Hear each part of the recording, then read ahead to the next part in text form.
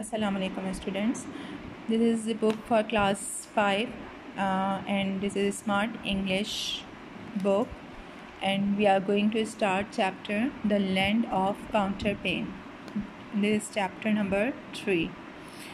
Uh, the Land of Counterpane is a poem written by Robert Louis Stevenson. Okay, now let's start reading. When I was sick and lay abed, I had two pillows at my head, and all my toys beside me lay to keep me happy all the day.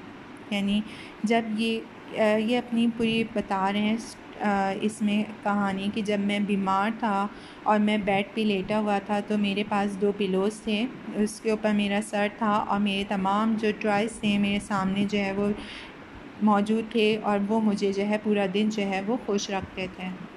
And sometimes for an hour or so I watch my leaden soldiers go and with different uniforms and dress among the bed cloth through the hills यानी जो है बाज़ अवत ऐसा लगता था uh, पूरे are के लिए कि मैं देखता था कि जो सोल्जर्स हैं ये सोल्जर्स इस पे देखें, इसकी बेड क्लोथ पे बने हुए सोल्जर्स जो हैं, वो जो है, उनको जाता हुआ देखता था जो डिफरेंट यूनिफॉर्म्स में होते थे और डिफरेंट मिलिट्री एक्सरसाइजेस कर रहे होते थे। तो मैं उनको देख रहा होता था अपने उस पर और ये थ्रू हिल्स से, यानी हिल्स के ज़रिए से ये जो है गुजर रहे होते थे। And sometimes sent my ships ships in fleets all up and down among the streets or brought my trees and houses out and planted cities all about. और बाज़ अवत ऐसा लगता था कि शिप शिप्स जो हैं मेरी भेजी गई हैं। एक फ्लीट्स में फ्लीट्स फ्लीट्स कहते हैं, एक ग्रुप होता है शिप शिप्स का, जो कि जो है सेलिंग कर रहा होता है आपस में मिलकर, ठीक है? पूरी एक ग्रुप की सूरत में जो है वो शिप शिप्स जो हैं इसकी जा रही हैं अप एंड डाउन हो रही हैं।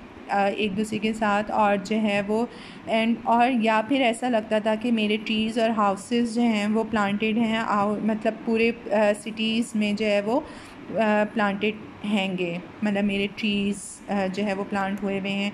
इसको ये सब कुछ जो है, ये अपने जो है किस पे बेड क्लॉथ पे नज़र आ रहा है, जो बिस्तर की चादर होती है, उसके ऊपर ये सब कुछ पेंटेड है।